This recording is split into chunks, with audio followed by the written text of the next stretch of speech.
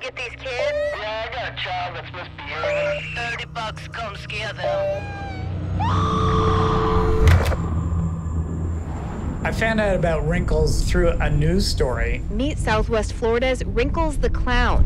Hi, Wrinkles. I'm a reporter at the Washington I'm a reporter Post. at the Naples Daily News. I've just seen your story blow up online. You can call him, he'll scare people for you. Sorry, you've reached Wrinkles the Clown. You're scaring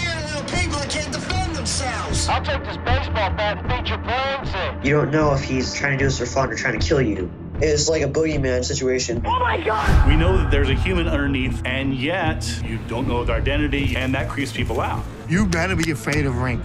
He's real. By calling him, you're essentially inviting him in into your life.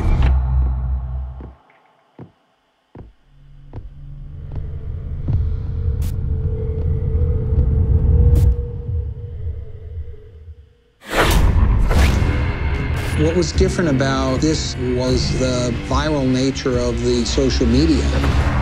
There's two people in his body, a multiple personality. He's been working like this for 65 years. Who are you and why are you doing this? People have made a ritual out of calling him.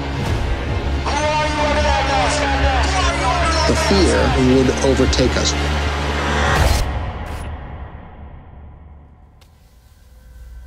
You know, no one was hiring me when I was just a regular clown. I just thought, yeah, you know, maybe I'll give it a little edge.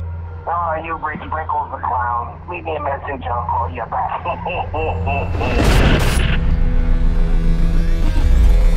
Guys, there's something outside.